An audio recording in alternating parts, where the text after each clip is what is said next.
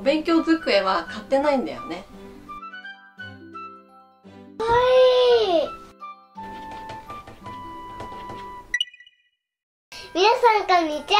ハブムンチャンネルのはげしなです。あたしです。今日はももさん何ですか？今日はママがしのちゃんにプレゼントするものがあります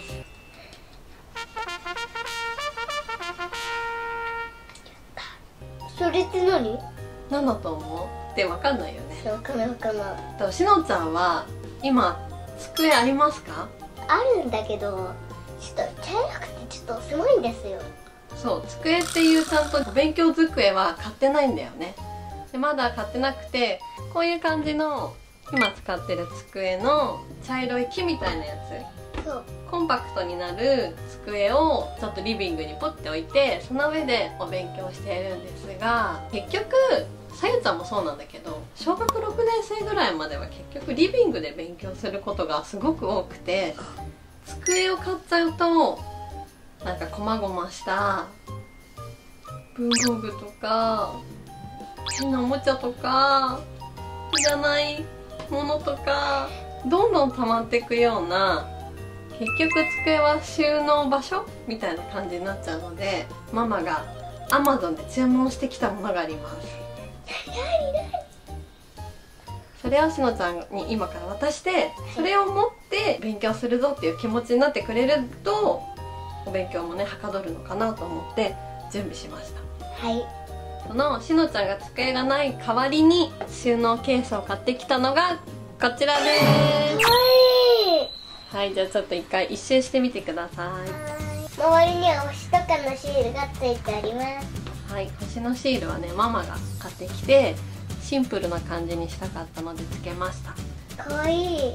それではじゃあ中をそーっと開いてみて。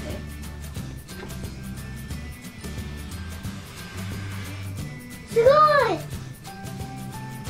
さあこっちではまだ見えないんですがじゃあこっちに向けてください。はい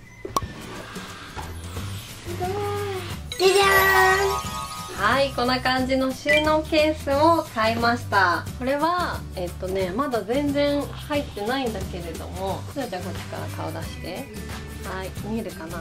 はいどうですか色は？ーんかわいい。はい。はい観察するときにもいいかも。これはね A4 サイズのファイルになってます。うん、それはね、えー、とセリアで買ったメモ帳とペンがセットになったやつ。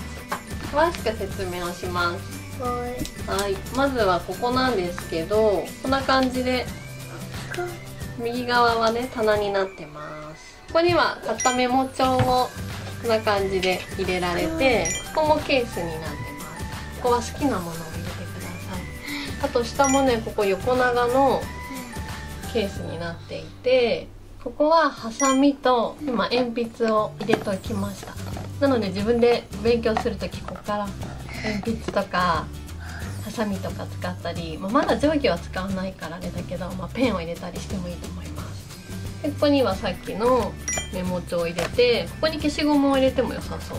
うん。でここもほらこんな感じの。あこれテープ？そうそこはねマステで上の部分はねここが開くの。ほらだからすごい取りやすくてまあとりあえず一回マステを入れてみたんだけども、うん。こんな感じでマステを入れてもいいしセロハンテープをしのと入れてもいいでここはしのの好きなブレスレッそうお手手につけるやつさやちゃんからもらってるやそれを入れる感じにちょっとしてみました。ここに本置いてもいいか。もうねなんかちっちゃいあれメモ帳でもいいし入りそうでしょいろいろ。うん。でこんな感じで自分の文房具収納セット見たくなってて勉強する時はこれをこう広げて机の上に出してこれお勉強することができます。こうやってなんか自分で囲ってあるとさ勉強する感じにならない気持ち的に。どう？どう？嬉しい。いい？いい感じ？このさパーさんも持ってあったの？あったよしのちゃんいろんなところに置いちゃうからないないないって探すことが多いんだけどこうやって大事な文房具はこの収納ケースに入れておけばいつでも使えるの。すごい。早速絵描いちゃうの。そしてえっ、とこれを磁石が一応ついてるみたいあですごい。カタンとするとこんな感じの栄養サイズのはい。大きさになってます。そうでねこれを本棚にこうやって入れることができるので勉強するときにここに取って。そう指がここに入るんだよ穴 が。指を入れて「よいしょ」って本棚から取って「さあ今日も勉強するぞ」って言って机の上にこれを開いて お勉強ができる感じになってますすごい。いい、うん、これ何円ぐらい、気になる？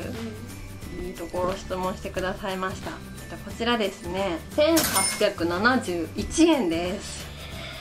まあ机買うよりは全然お安いんですけどこのね確かね色も選べることができてあとね今 A4 サイズだけど他のサイズの大きさもありました。この半分のコンパクトなサイズもあったよ。たただ鉛筆とかハサミとか入れられるような縦長のやつ。だからこれからしのちゃんがこれを自分でね次はアレンジをして自分でここにほら付箋とかもし必要ならね入れたりしてもいいんじゃないかと思います。まだここに折り紙とか入れてもいいしさ。いいね。いいよね。メモ帳とか鉛筆削りとか入れてもいいんじゃないかなって思います。やったー勉強用さセットだからそう嬉しい。嬉しい？よかった。これでやる気が出てきそうじゃない？うん。消しゴムも入れといてもいいと思うからさ。やるよ。パカ。ッってやって。っ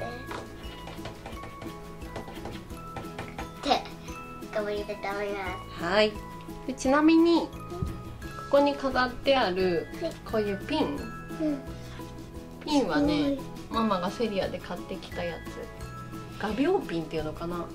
なんかプスって刺して二股に分かれるから裏でギュッてやると取れないようになってます。すごい。そうそうすごい可愛いよね。うんだから後々自分でシール貼ってもいいしまあでもあんまシールベタベタするとさ勉強する気持ちがさなくなっちゃうじゃん。そうだからこんな感じで。ここら辺に貼ればいいんじゃない？裏側に？そうだね。でシンプルな感じにしましたこれは勉強のやる気が出そうです。はい落書きばっかりしてちゃダメだよ。大丈夫。これからさ夏休みもあるじゃん。ちょっと短くなっちゃったけど。短くなっちゃったけどこのケースを使ってお勉強したら進むかもしれないね。早速書いてるんですか？はい。そしてちなみにですがこうやって紙がついていたんですがやっぱりここにねマグネット機能がついていてピタッとつきます。そして文房具の他にこんな感じで化粧品とか美容ストックメイクポーチじゃないけどお家用のコスメを入れたりとかあと薬とか救急箱にも便利だそうです。あ救急箱いいかもね。ちょっとここ薬箱とか薬箱にしても良さそうっていうことでこんな感じの一応ね使い方っていうかこういうところには封筒を入れたらいいよとかハサミを入れるといいよとかいう例も載っています。はい。はいここに書いてある通り毎日使うものではないけれど押し入れにしまうものでもない。引き出しや箱に入れるとごちゃごちゃしてくる。そんな悩みを解決する立てて分類してすっきりミニマルな生活のための収納だそうです。ほんとこれめちゃめちゃいいと思う。これね、うん。あと2個ぐらいあってもなんか左右とかお兄ちゃん分って言って置いてもさ自分用のねなんか収納場所っていう感じですごいいいなって思います。はいということで今日は机がない私にママが収納ケースを買ってきてもらいました。これ私の勉強はいっぱい頑張っちゃいます今から白テープを入れたりとかあと糊とか入れたりとかあとお友達に書くお手紙とかシールとか付箋とかなんか自分が好きな風に使っていきたいと思います。皆さんもぜひ Amazon をチェックしてみてください。TikTok、インスタ、Twitter もやってるのでフォローお願いします。チャンネル登録も押してね。また見てね。バイバーイ。よしこれで1年生も頑張られるぞ。頑張って宿題をやり。